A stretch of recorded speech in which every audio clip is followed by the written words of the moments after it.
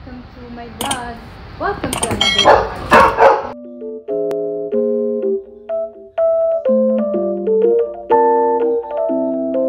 Hi, welcome to another vlog. So this video is all about pet essentials, um, specifically for Chow Chow since my dog is a Chow Chow breed.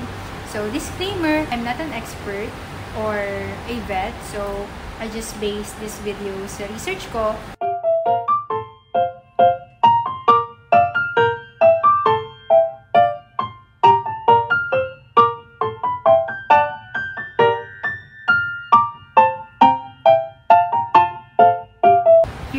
short video that I can share with you.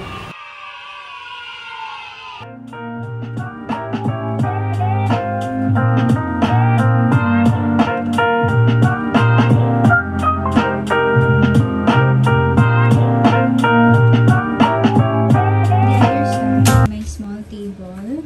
Dito din yung iba niyang essentials. This one is in diet supplement.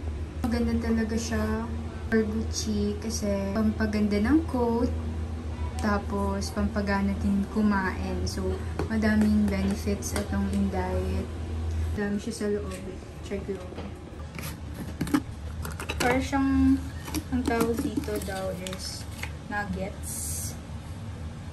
Gani rin. Ay! Yeah. Same siya with carnivore. This one kasi, sabi ng seller, okay siya for coat. Forgot na how much is this one, pero medyo expensive. Ito, I bought this nung 3 months pa lang si Gucci. And everyday ko siya ginagamit. Every meal. So, paubos na siya. So, minsan, ina-alternate ko to. Kaya ako may spoon here kasi minsan hinahalo ko yung food Gucci. Pag ayaw ko kamayin, ito, nagamit ko to um, sa mga hotspot ni Gucci. Ayan, may nakalagay naman dito yung benefits. Antibacterial, churba, churba, churba.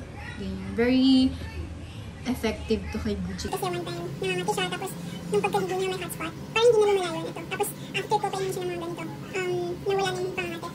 This one naman is yung vitamin niya.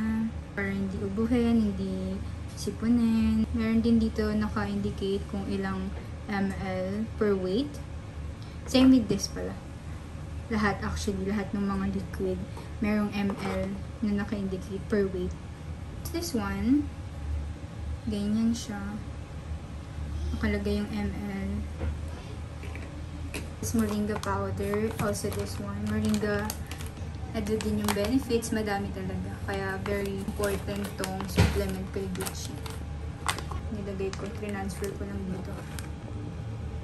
So, let's move naman sa mga food na kinakain ni Gucci.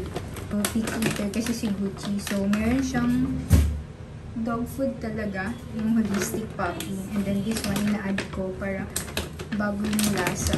So, so far, gusto naman niya. Ito talaga yung dog food na kinakain niya, yung holistic puppy. And then, may ano lang ako dito, container, para hindi pa-open-open yung stock. So, ayan.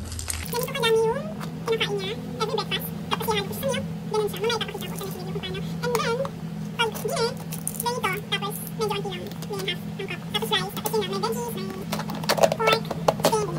For the milk, iniinom ni Gucci Boy, cowhead, lactose-free.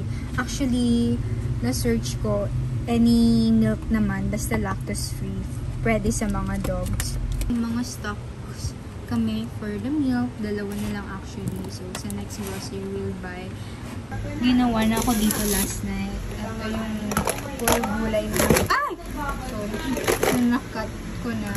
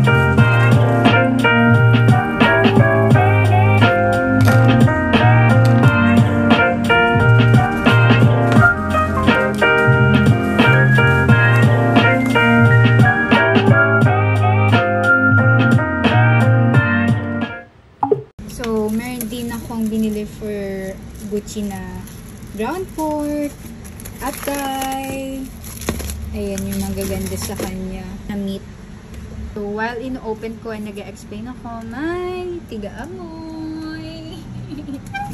so, toiletries niya, may toothbrush siya, tsaka toothpaste.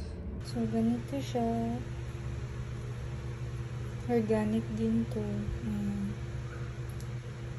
Let's go naman sa mga things na needed for Gucci, for your pets. Ito ko din this one. Ito yung mop na ginagamit ko for Gucci. Pag nagwiwi, pero matalino na siya ngayon. Sa CR na siya mismo nagwiwi. Just in case lang namudi siya, nagwiwi sa ibang area. So, ito yung ginagamit ko. Separate siya na mop sa pangbahay talaga na mop. Ito pang wiwi lang talaga, tsaka pang pupo. We're using two kinds ng comb. Isang pag ganito, tapos isang ganito. So, ito talaga yung recommended nung seller.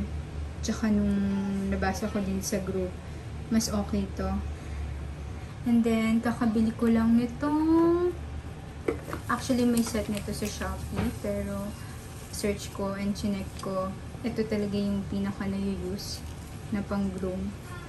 So, ayan. Hindi ko pa na-try and I haven't watched any videos paano mag-groom. Pero kasi, we so scared lumabas-labas. Kaya, gusto ko matuto para ako na lang din mag-groom kay Gucci. Yung mga ano lang naman, um, yung sa butt, yung sa tummy area, ganyan. So, ito, itong side na to, ito for thick and freeze na spray every 2 weeks. Pero minsan every week ko siya ini-spray, especially pag na-expose si Gucci sa labas. Or pag sinasama ko siya sa office. Ito, cologne, para mabango. Ito, dry shampoo. Itong dry shampoo ay ito, parang liquid, parang kagaya sa tao. Medyo magbasa-basa. Pero para siyang powder. Ah, powder lang talaga siya. So, it's nice din. This one, um, cologne din. Pero mas organic to kaysa sa isa. Tapos ito, treat treat niya na tatlong piraso na lang. So, bibili pa ako. Ito, hindi mawawala. Yung Mondex. Yung paggamit nito is every time na pupunta siya ng vet or kaya galing siyang labas. Pagod na pagod. So, para hindi siya ma-dehydrate. So, very useful to. Ihalo lang to sa water. Tapos, meron din naka-indicate kung ilan, ilang scoop. Tapos, ito nga, as I mentioned before, gusto ko ako na mag-groom kay Gucci. So, I bought also nail clipper. Ganyan siya. Hindi ko pa siya alam gamitin. Ito, talagang basic needs to. Itong dalawang pagkainan. By the way, itong leash ni Gucci, naka-customize na may name niya. Kaya, ayan, cutie. Tapos, itong plate, double purpose to. Pang food niya, or pang water pag nasa labas.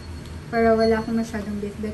And then this one, ayan, pang pupo niya. Pag nag-poop siya outside, kukunin ko na lang. Ayan. Hindi naman siya mabigat, so very lightweight lang. Ay! We also bought UV care. So, meron din kami purifier sa taas. Pero this purifier kasi, um, okay siya for dogs. Dream talaga namin siya. Lalo na, nung nakuha namin si Gucci kasi nga nag-shred yung buhok niya everyday. And medyo masama din sa health filter na yung mga small, um, tiny dust na hindi napapansin. One is really expensive, pero worth it naman para sa health if gusto gusto yung mag-keep ng mabalahibo na, na dogs. So, dito talaga siya sa baba. So, ayun, Gucci! Gucci! I'm vlogging! I'm vlogging!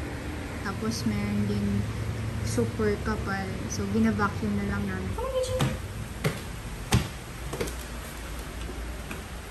So, ito yung sample ng pag-shed ng hair niya. Ayan. This is yours, Gucci. And meron pa dito eh. Ayan. Uy! Ayos yun. Excuse me. Ayan. Ito. Ang dami. Everyday ito ganito. Kaya everyday din kami nag-vacuum. Chi, ah? One, matagal na, matagal na to sa amin. Hindi na kami bumili.